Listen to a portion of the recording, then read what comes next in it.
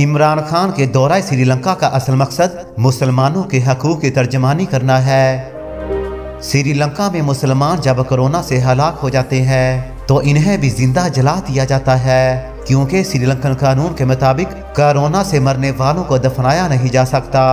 इसीलिए मुसलमानों के साथ साथ दूसरे मजाहब के लोग कोरोना से मरने वाले अफराद की मैतों को जला देते हैं। श्रीलंका के मुसलमान इमरान खान की तरफ़ नज़रें रखे हुए थे। उन्होंने इमरान खान से दरखास्त की थी कि मुसलमानों की मैतों को ज़िंदा जलाना हमारे जज्बात और मजहबी अकीदों को मजरू करता है। श्रीलंका के वज़ीर अजम राजा पक्ष ने गुजशत हफ़्ते पार्लियामेंट को बताया था कि हुकूमत कोविड 19 से मरने वाले मुसलमान शहरियों को दफनाने की इजाज़त देगी, जिस पर इमरान खान ने श्रीलंका के वज़ीर अजम का शुक्रिया भी अदा किया था। इमरान खान की आमद पर श्रीलंका की सड़कों को पाकिस्तान के परचम और इमरान खान की तस्वीर वाले बैनर से भर दिया गया। इन बैनर्स पर लिखा था, वेलकम इमरान खान।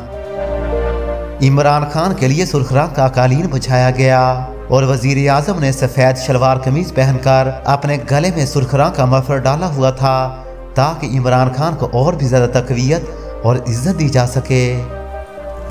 इमरान खान के श्रीलंका में पहुँचने से पहले कोलंबो की सड़कों को पाकिस्तान के कौमी परचम और इमरान खान की तस्वीर वाले बैनर से सजा दिया गया।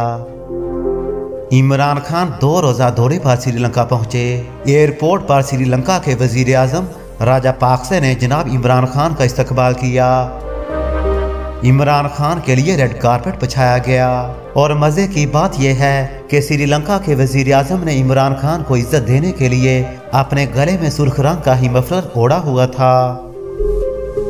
इमरान खान को 21 तोपों की सलामी भी दी गई। इमरान खान को गार्ड ऑफ़ आनर भी पेश किया गया, जबकि श्रीलंकन फौज के दस्तों ने भी वज़ीर अजम को सलामी दी।